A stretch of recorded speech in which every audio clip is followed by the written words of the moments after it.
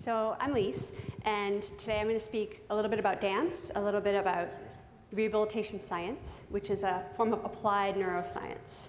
And specifically, I'll be talking about bridging the disciplines. So if we get this up.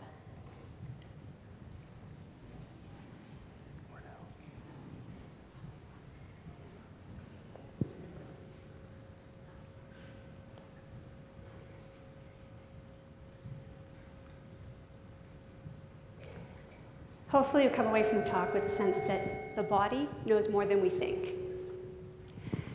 So I'll start by asking take a look at this image, and if you just think about what it means to you, what it says to you, uh, what it is.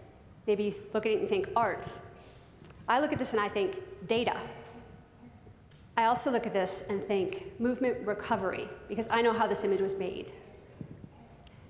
So I'm a dancer, I'm a rehabilitation scientist, and this is what I do. I embed the arts to help promote movement when movement is the medicine.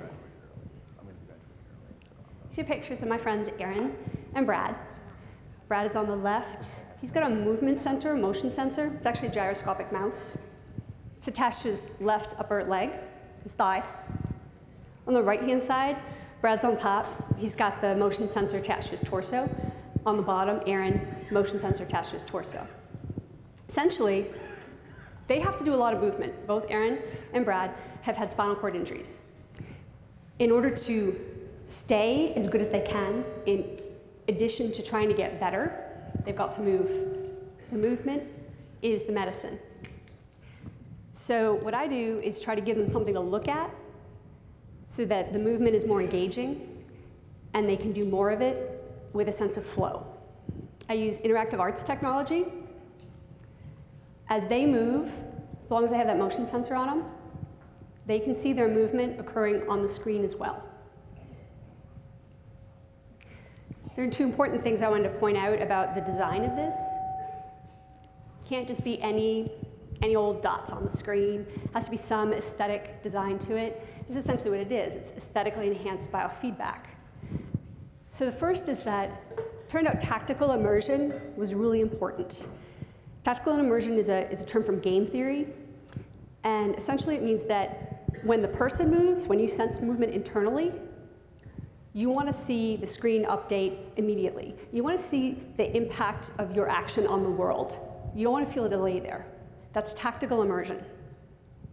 The second element that turned out to be kind of important with this was giving a sense of uh, perspective within the screen. So we would call that aesthetic immersion. Arts really does this very well. We have all sorts of techniques for creating perspective, for creating a third dimension out of a two-dimensional space. In this particular case, with the embedded arts images, I did something really simple.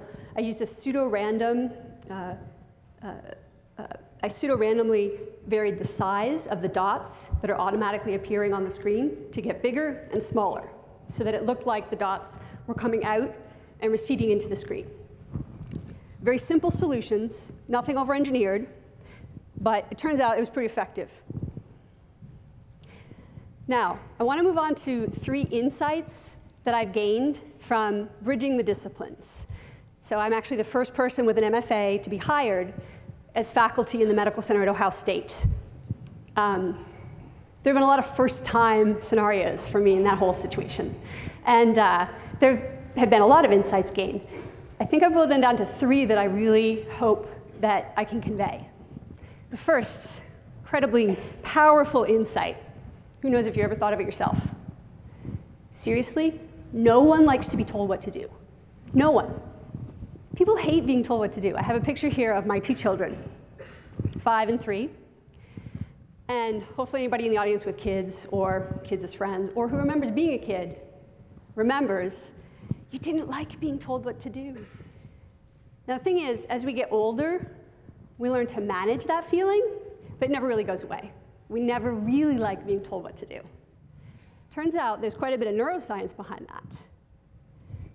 When it comes to learning how to move, how to impact the world with your forces, open a doorknob, balance, walk, pat your dog, hug your grandparents.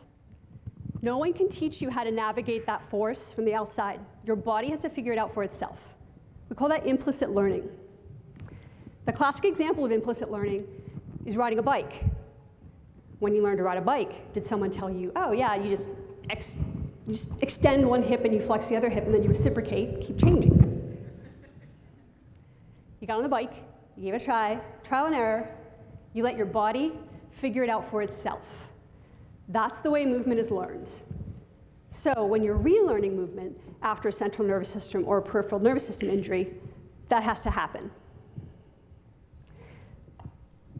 Dance does a really good job at implicit learning. Think about it, dance teaches people to move well, to navigate force well, without them having to be told explicitly what to do all the time.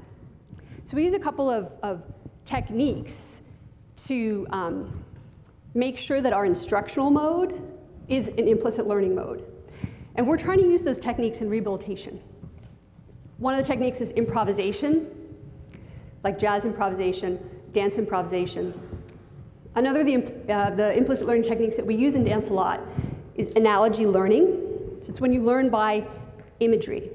For instance, one of the foundational things you have to learn for dance is to turn out.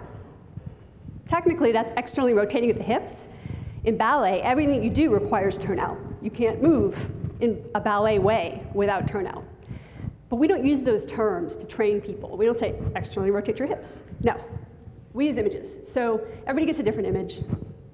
The image that I learned with, somebody told me, pretend that your legs are two barbershop poles rotating against each other. So when I dance in the ballet style, I'm dancing on top of two barbershop poles. I'm using implicit learning. Implicit learning is a way to learn how to move in new ways without anyone having to tell you exactly how to do it.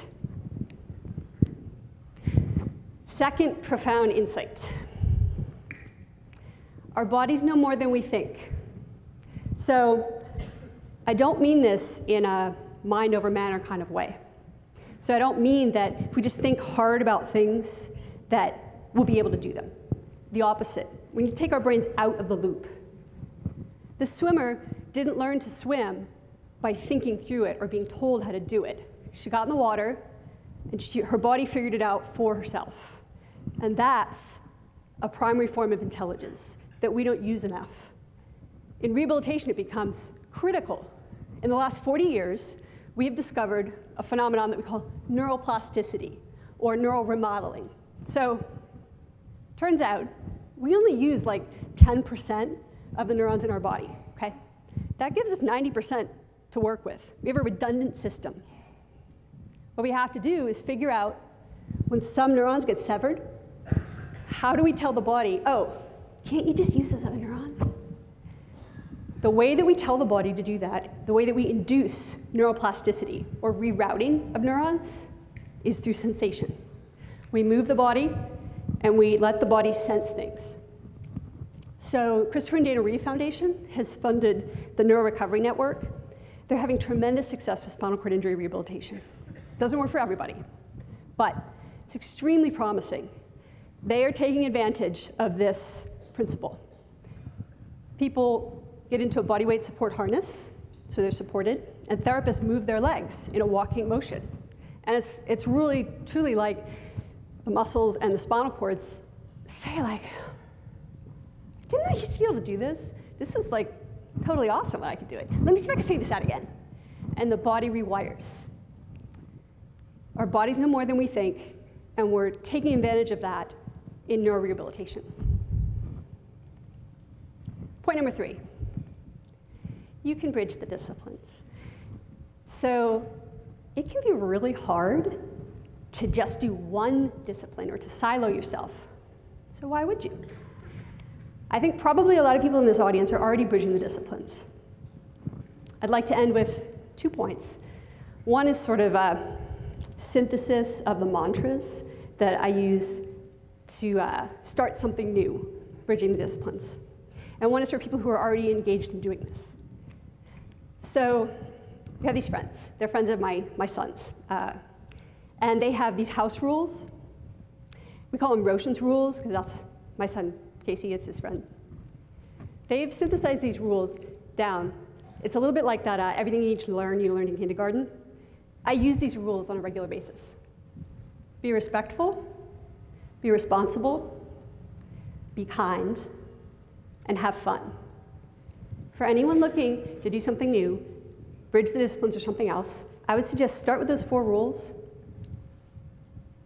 see what happens. For people who are already in this space, I really just have one word, and I'll end with that persevere. Thank you.